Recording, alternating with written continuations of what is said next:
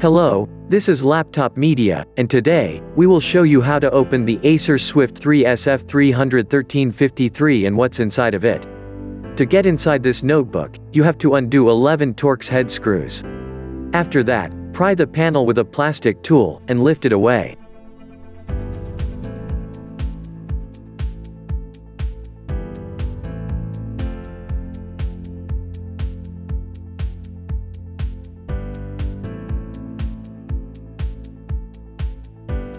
Please remember, it would be of great help to us if you just hit the like button and subscribe to our channel. That would motivate us to make even more and better videos for you. Cooling wise, there are two thin heat pipes, attached to the CPU, leading the heat away to a heat spreader. Then, a medium-sized fan blows it out of the chassis, pretty conventional setup. As you can see, the RAM chips are soldered above the processor. This means you won't be able to upgrade the memory, so you're left with the 8GB or 16GB of LPDDR4X RAM you get in the beginning. However, there is one M.2 PCIe X4 slot for storage upgrades.